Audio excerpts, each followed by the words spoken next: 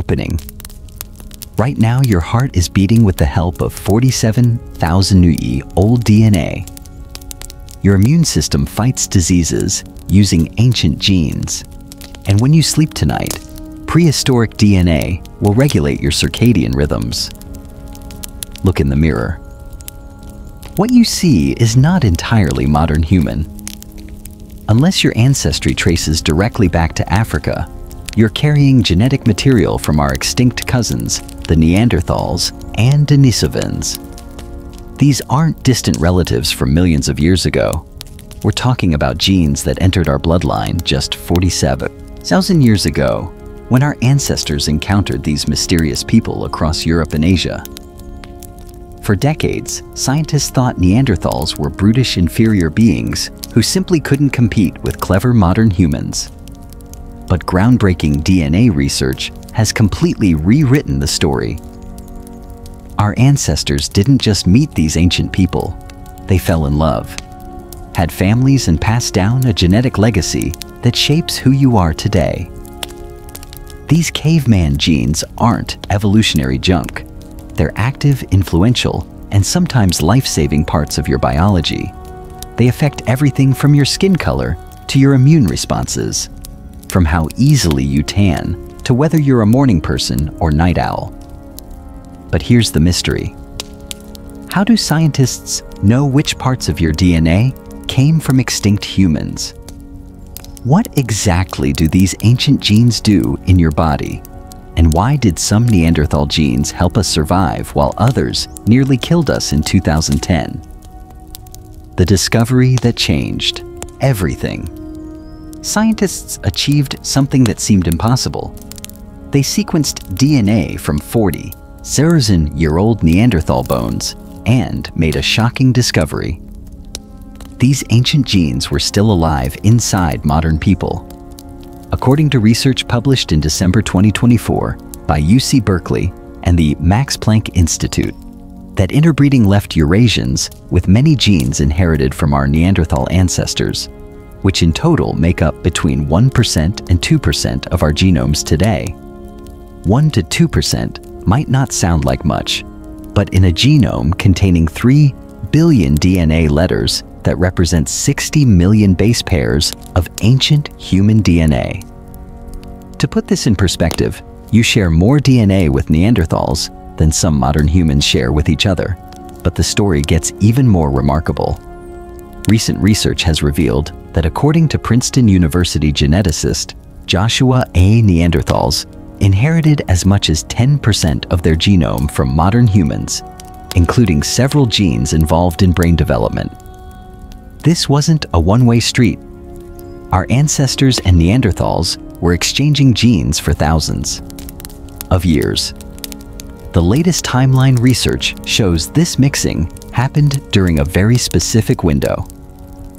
As Priya Moorjani from UC Berkeley explains the genome analysis found an average date for Neanderthal Homo sapiens interbreeding of about 47,000 years ago and that the period of gene flow was around 7,000 years.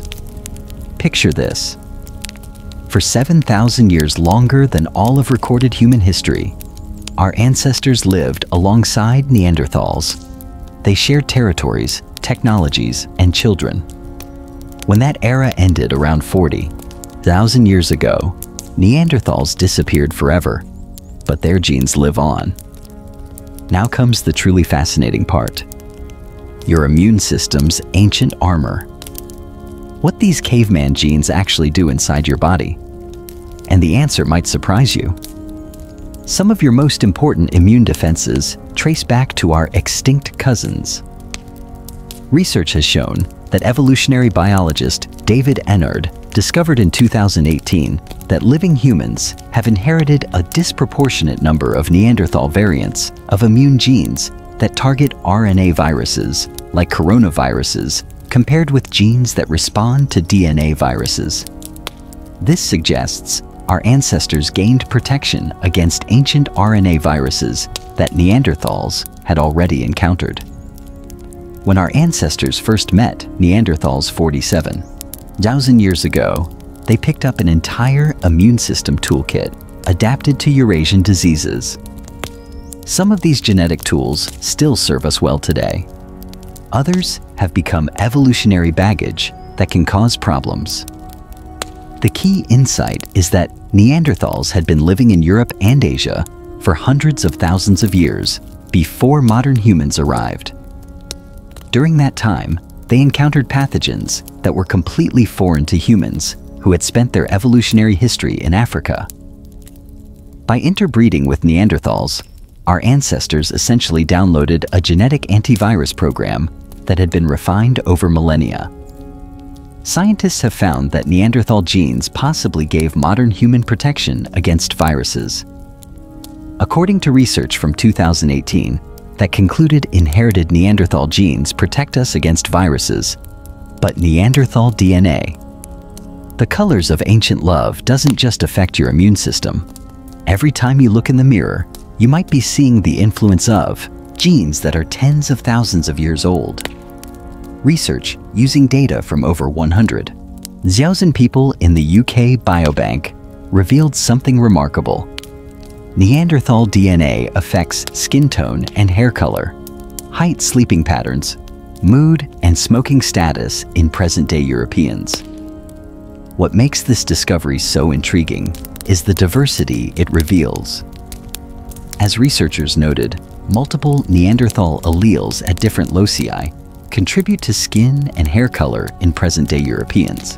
And these Neanderthal alleles contribute to both lighter and darker skin tones and hair color, suggesting that Neanderthals themselves were most likely variable in these traits. This shatters old stereotypes about what Neanderthals looked like. They weren't a uniform group of pale red-haired cave dwellers. Like modern humans, they showed tremendous diversity in appearance. The influence on skin color makes evolutionary sense. Scientists speculate that sun exposure may have shaped Neanderthal phenotypes and that gene flow into modern humans continues to contribute to variation in these traits. Today, Neanderthals had been adapting to European and Asian environments for hundreds of thousands of years before modern humans arrived. When our ancestors mixed with them, they inherited genetic adaptations to local sunlight levels and seasonal variations.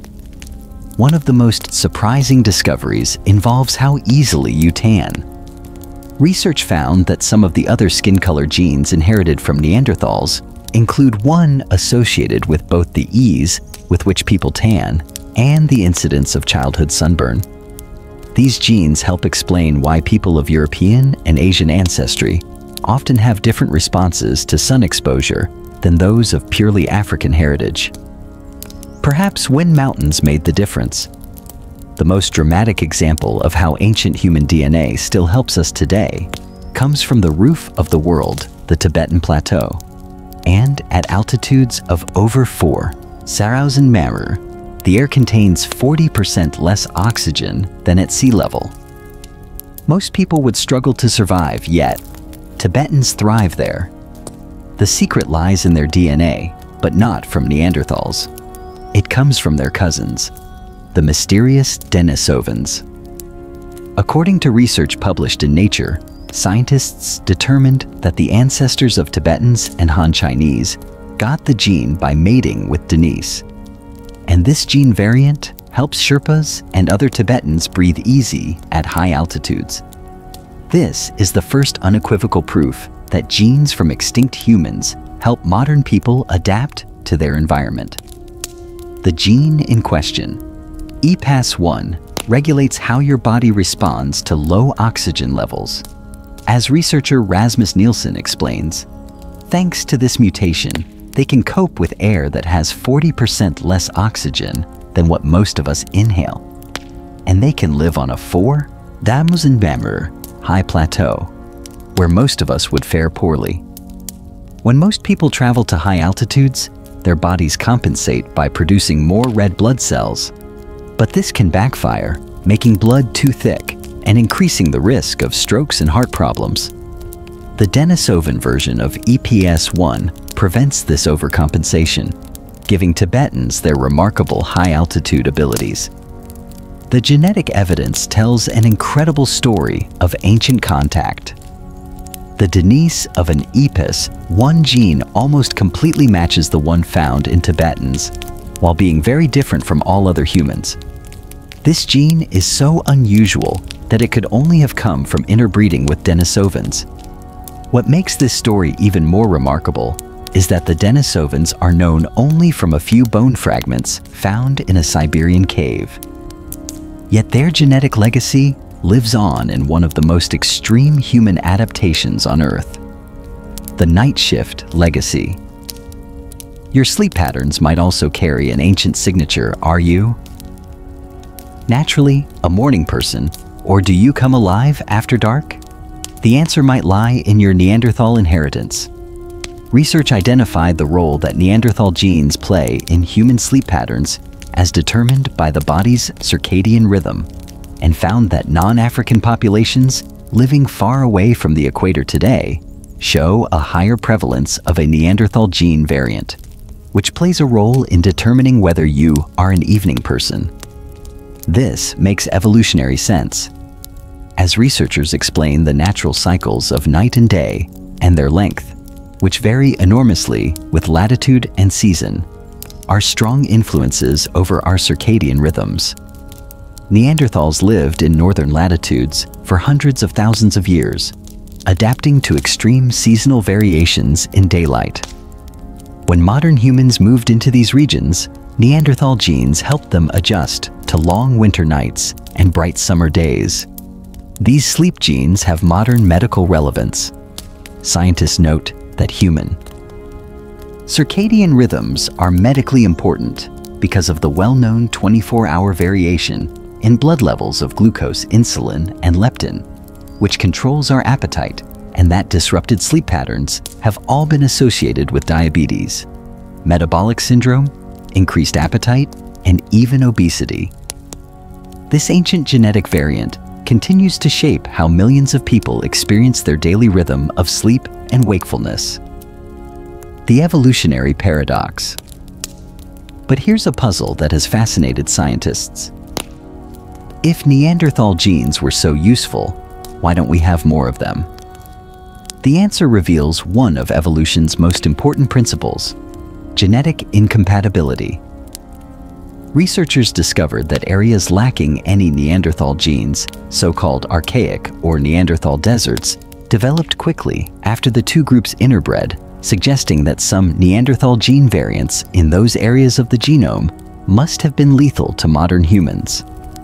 Natural selection acted like a genetic editor keeping the useful Neanderthal genes while ruthlessly eliminating harmful ones. This process created a patchwork pattern. Some parts of our genome carry high frequencies of Neanderthal DNA, while other regions are completely devoid of it.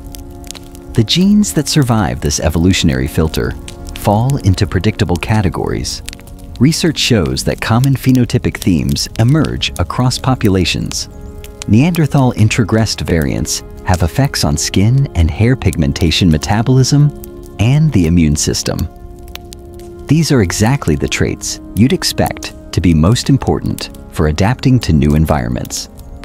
This selective preservation explains why Neanderthal DNA influences traits like skin pigmentation and immune function, but is largely absent from genes controlling brain development and reproduction where genetic incompatibilities would have been most dangerous. The ongoing debate. Not all scientists agree on Gish on how much influence these ancient genes really have. Recent research from Iceland challenges some earlier findings. A study of tens of thousands of Icelanders found that most traits were better explained by association with modern gene variants and that researchers found no statistically significant association between archaic DNA and freckles hair color, eye color, or autoimmune diseases. This doesn't necessarily contradict earlier research, but it highlights an important point. The effects of ancient DNA may vary significantly between different populations. What matters in one group might be irrelevant in another. As geneticist Tony Capra emphasizes, the effects of Neanderthal DNA traits are detectable, but they're modest and warns against overemphasizing their importance compared to social and environmental. The bigger picture factors, whether large or small, these ancient genetic influences tell us something profound about human nature.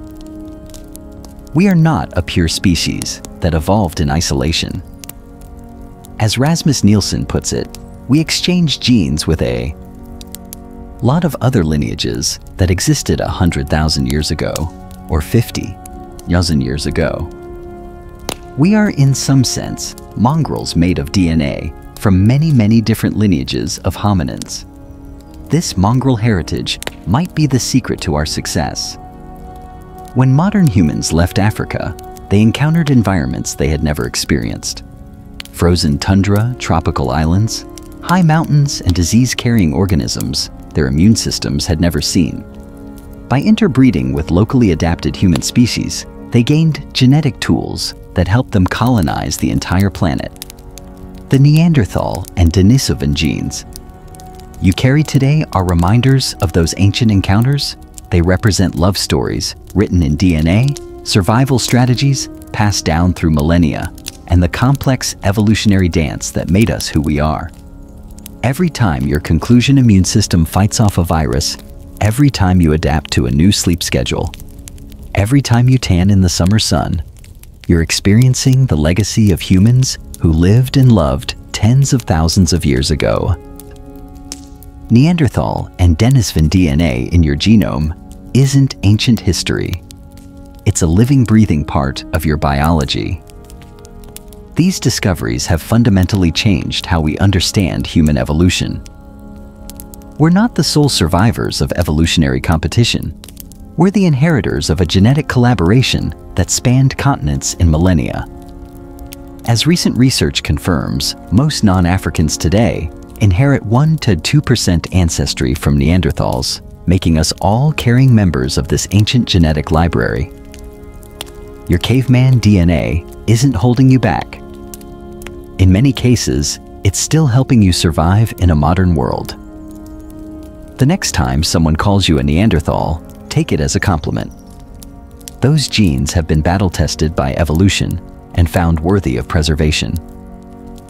They represent humanity's greatest strength, our ability to adapt, survive, and thrive by learning from everyone we meet, even those who lived 47,000 years ago.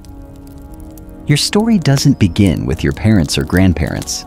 It reaches back to moonlit encounters between modern humans and their mysterious cousins, written in the DNA that still flows through your veins today.